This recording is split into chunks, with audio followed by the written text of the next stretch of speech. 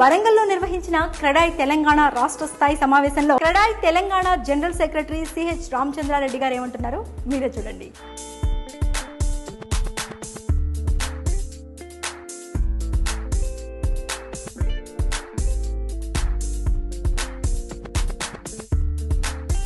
Near twelve twelve lakh crores already deposit అయినాయి.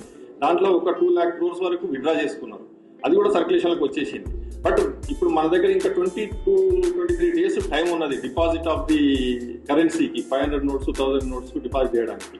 మన మన ఇండియన్ మెంటాలిటీ ఎట్లుంటుంది అంటే లాస్ట్ రోజు క్యూలు నిలబడి ఏదైనా మనం కట్టడం కానీ డిపాజిట్ చేయడం కానీ చేస్తారు జనరల్గా కాబట్టి ఈ లాస్ట్ ట్వంటీ ఎయిత్ నుంచి డిపాజిట్స్ ఇంకా పెరిగి ఆల్మోస్ట్ ఇది near to fifteen lakh crores వరకు వస్తుందని నేను ఎక్స్పెక్ట్ చేస్తున్నాను.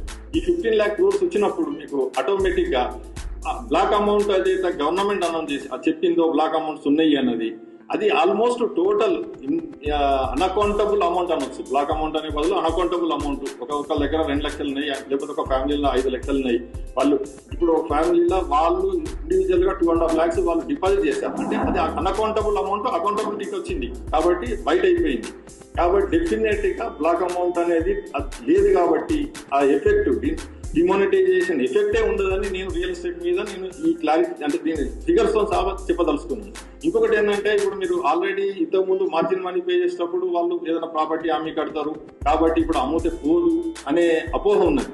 బట్ ఏదైతే ప్రాపర్టీ అమ్మినప్పుడు ఇప్పుడు అమ్మినప్పుడు ఈ వైట్ అమౌంట్ ఏదైతే క్యాష్ పోర్షన్ ఉన్నదో అది కూడా వైట్ అయింది కాబట్టి డెఫినెట్గా ఆ అమౌంట్ పే చేయడానికి వాళ్ళకి మార్జిన్ మనీ లాగా యూజ్ చేసుకుంటారు. బ్యాంకర్ కూడా ఇప్పుడు మార్జిన్ మనీ ఏదైతే ten percentage ninety percentage loan ఇస్తున్నారు ఏదైనా ప్రాపర్టీ మీద టెన్ పర్సెంటేజ్ మార్జిన్ మనీ ఏదైతే ఉందో ఆ మార్జిన్ మనీ ఇప్పుడు వీళ్ళు డిపాజిట్ చేసుకున్న అమౌంట్లోకి వెళ్ళి పే చేస్తారు. కాబట్టి డెఫినెట్గా ఇంకా లోన్ ఎలిజిబిలిటీ కూడా పెరుగుతుంది. ఎందుకు అంటే ఇప్పుడు వాళ్ళు ఇన్కమ్ ట్యాక్స్ ఇంత ముందు చేయని వాళ్ళు కూడా ఈ టూ ల్యాక్స్ ఈచ్ ఒక నలుగురు ఒక ఫ్యామిలీ ఉంటే ఒక two lakh two and half lakhs ఇస్తే పది లక్షలు డిపాజిట్ చేస్తే డెఫినెట్గా ఇన్కమ్ ట్యాక్స్లో వాళ్ళు పాన్ నెంబర్ లేని వాళ్ళు కూడా పాన్ నెంబర్ తీసుకోవాల్సి వస్తుంది. కాబట్టి వాళ్ళకు కూడా లోన్ అంటే ఇన్కమ్ ట్యాక్స్ అసెసీలు అవుతారు. కాబట్టి ఎలిజిబిలిటీ పెరుగుతుంది. దాంతో డెఫినెట్గా రియల్ ఎస్టేట్ అనేది రేపు రేపు రేపు పుంజుకుంటుంది. ఇంకా ఇంకా డౌన్ అయ్యేది కాదు ఇంకా ఇంకా పెరుగుతుంది కాబట్టి డెఫినెట్లీ అందరూ అలర్ట్ అయ్యి చేయాలి. ఇంకొకటి నేను చెప్పదలుచుకున్నది ఏంటంటే వెయిట్ అండ్ వాచ్ అనేది ఒకటి వన్ సైడ్ ఉండదు ఎప్పుడు. ఎప్పుడైనా పర్చేజర్ వెయిట్ అండ్ వాచ్లకు వచ్చిందంటే డెఫినెట్గా బిల్డర్ కూడా వెయిట్ అండ్ వాచ్లకు వస్తాడు. ఒక రెండు బ్లాక్లు ఉన్న వెంచర్ స్టార్ట్ చేస్తున్నాడు సపోజ్ ఇప్పుడు ఇక్కడనే ఇక్కడనే రెండు వెంచర్లు స్టార్ట్ చేయదలుచుకున్నాడు ఒక వెంచర్ స్లో చేసి ఇంకొక వెంచర్ స్టార్ట్ చేస్తాడు.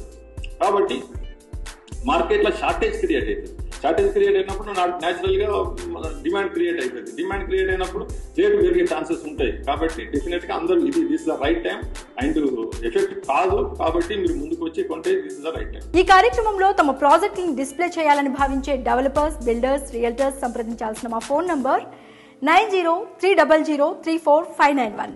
ఇదే నంబర్కు మీరు వాట్సాప్ కూడా చేయొచ్చు.